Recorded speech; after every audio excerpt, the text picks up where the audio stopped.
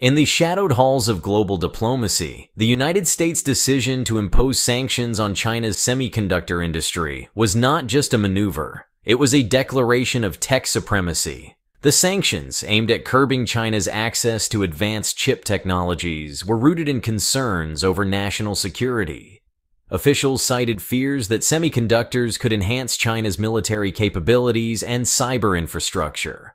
According to a statement by Gina Raimondo, U.S. Secretary of Commerce, restricting China's access to these critical technologies is essential to protecting U.S. national security interests. The stakes are clear. Semiconductors are the foundation of everything from smartphones to AI systems. Limiting China's ability to source advanced chips directly impacts its technological growth, or so the United States believed. But in trying to slow one rival, the sanctions inadvertently ignited a global tech rivalry of unprecedented scale. China's immediate countermeasures set the stage for a battle that transcends borders, fueling geopolitical tension and altering global supply chains.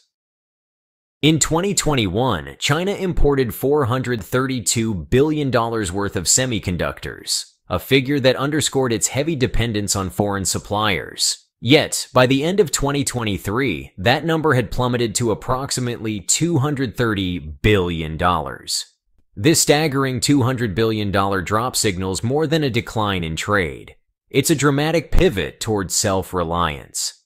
State-driven initiatives like Made in China 2025 have funneled billions into domestic semiconductor manufacturing, Companies such as SMIC or Semiconductor Manufacturing International Corporation are at the forefront, ramping up production to reduce dependency on Western technologies. A recent report from the Financial Times highlighted that China's chip self-sufficiency rate increased significantly, reflecting a strategic shift in reducing dependency on foreign suppliers and bolstering its domestic semiconductor industry. This rapid progress highlights a turning point. But what does it mean for industries reliant on Western suppliers? But what does this mean for global trade? Is China's ambition reshaping the industry or simply isolating it? Stick around and we'll uncover the consequences for US companies. Please like and subscribe. Leave your thoughts in the comments. Your support helps us grow. Thank you. If you thought Huawei's fall from grace after US sanctions was the end of its story, think again. In 2023, Huawei unveiled its Mate 60 Pro smartphone, powered by a domestically produced 7-nanometer Kirin chip. This achievement stunned industry experts who doubted China's ability to advance so quickly under sanctions. Huawei's 5G base stations, built entirely with Chinese-made components, further cement its resilience. Breaking down these innovations reveals how sanctions, once a barrier, became a catalyst for progress. Similarly, Huawei's 5G base stations, built entirely with Chinese-made components, have become the backbone of the country's digital infrastructure. Industry analyst Dan Hutcheson from Tech Insights remarked, this is a clear signal that China's tech resilience is far stronger than anticipated.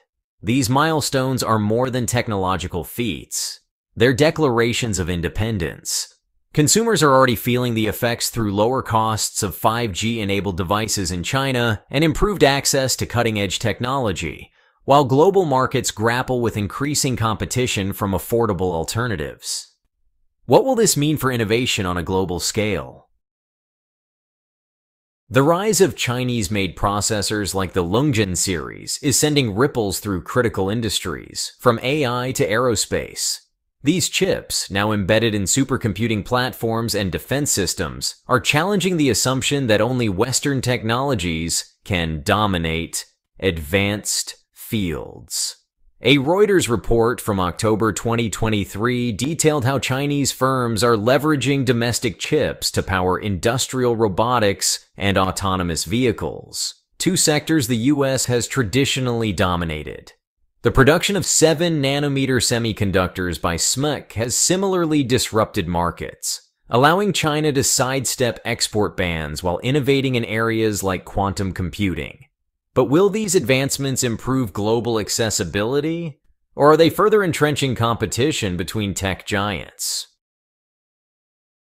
Intel's Q3 2023 earnings revealed a sharp decline in revenue, with sales to China dropping by 27% compared to the previous year. Similarly, Texas Instruments, a major supplier of analog chips, reported a $2.3 billion shortfall, attributing much of it to reduced demand from Chinese clients. The ripple effects of this downturn are hitting not just these companies, but the broader tech ecosystem. As Chinese firms ramp up domestic production, US companies lose a critical revenue stream that once accounted for up to 30% of their annual sales. This dynamic raises an uncomfortable truth. Are sanctions backfiring economically for the US? In 2020, China's share of global semiconductor manufacturing was 15%. By 2023, that figure had nearly doubled, reaching 30%. The growth stems from heavy government subsidies and strategic partnerships with allied nations. According to a 2023 report from the Wall Street Journal, Chinese chip makers have built more than 50 new fabs, fabrication facilities, in the past two years. This expansion not only diversifies global production, but also creates competition for established players like Taiwan's TSMC and South Korea's Samsung. How does this rapid expansion influence product pricing for everyday consumers? And are these changes felt in markets beyond tech? The US sanctions created an unexpected casualty. South Korea's chip industry, companies like Samsung and SK Hynix, which rely heavily on exports to China, now face reduced market access. Meanwhile, China's advancements in DRAM and NAND technologies are closing the quality gap. Samsung's semiconductor division reported a 12% drop in revenue in the third quarter of 2023, while SK Hynix experienced its largest profit loss since 2017. According to a report by Bloomberg, both companies are scrambling to adapt to a market where Chinese competitors are increasingly self-reliant. But will South Korea's legacy of innovation help it reclaim its edge, or is this a permanent shift? China's impact extends beyond hardware. Its domestically developed chips now power data centers, telecommunications networks, and AI platforms nationwide. Companies like Alibaba and Tencent are replacing imported processors with homegrown alternatives. In 2023, Nikkei Asia reported that over 60% of China's cloud computing infrastructure now runs on Chinese-made chips.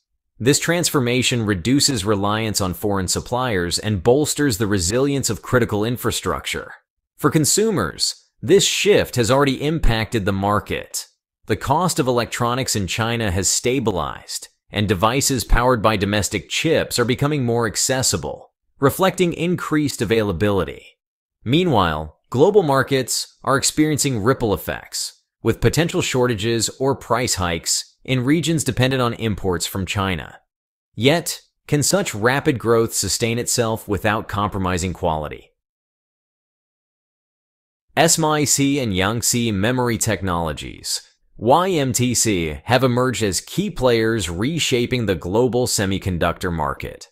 SMIC's ability to produce advanced nodes, such as 7nm chips, is a direct response to US export controls. Meanwhile, YMTC's 232-layer NAND flash memory is redefining the capabilities of consumer electronics. According to an analysis by The Economist, these companies are not merely catching up, but setting benchmarks in performance and efficiency. Their rise challenges traditional powerhouses like Intel and TSMC, shifting the balance of influence. Sanctions were designed to throttle China's tech advancements, Instead, they have done the opposite. However, the US has begun exploring counter strategies, fostering domestic innovation through subsidies, strengthening alliances with key nations like South Korea, and encouraging private sector R&D to retain a competitive edge. Will these measures be enough to regain technological dominance? The restrictions force China to invest in R&D at unprecedented levels, with government spending on semiconductor research exceeding $20 billion in 2023 alone. A report by MIT Technology Review noted that sanctions created a survival mindset among Chinese tech firms, pushing them to innovate faster than anticipated. This resilience raises a critical question. Have U.S. policies inadvertently given China the tools to outpace its rivals? China's status as the world's largest chip purchaser gives it unparalleled influence over supply chains. In 2023, Chinese companies accounted for 38% of global chip demand. This dominance forced suppliers to adapt or face significant revenue losses. Even as U.S. export bans target Chinese firms, global suppliers like ASML and Applied Materials struggle to balance compliance with economic interests. What happens when China wields its purchasing power to rewrite the rules of global trade? China's ability to mass produce 232 layer NAND flash memory marks a turning point in memory technology. This achievement, led by YMTC, positions China as a leader in high capacity storage solutions, essential for data driven industries. With competitors like Micron and Western Digital trailing behind, the implications are profound. Could this advancement shift the epicenter of memory innovation from Silicon Valley to Shenzhen? The semiconductor self-sufficiency China has achieved is altering global power dynamics. By securing critical tech independence, China not only reduces its vulnerability to sanctions, but also strengthens its bargaining position in international relations. Experts like Chris Miller, author of Chip War, argue that China's progress in semiconductors is a geopolitical game changer. Could this be the beginning of a new era where tech power reshapes alliances and economic strategies? And if so, what challenges might both China and the US face as this battle escalates? But how sustainable is this newfound independence, and what challenges lie ahead? The US China chip conflict serves as a cautionary tale about the unintended consequences of weaponizing technology. While sanctions aimed to cripple China's tech sector, they catalyzed innovation and intensified global fragmentation. As the world becomes increasingly polarized, the risks of over-reliance on technological dominance become clear. What does this mean for future conflicts? And can nations strike a balance between competition and cooperation in the digital age? The US-China chip war is not just a tale of rivalry, it's a case study in the unpredictable outcomes of geopolitics. To avoid further fragmentation, multilateral cooperation in innovation and trade policies may be necessary. International tech alliances could stabilize markets while fostering shared growth. But will these efforts materialize, or will competitive dynamics continue to escalate unchecked? As China rises from the ashes of sanctions to emerge as a tech powerhouse, the global semiconductor landscape will never be the same. We're glad you're enjoying this video. Please like and subscribe. Check out another video that is now on your screen.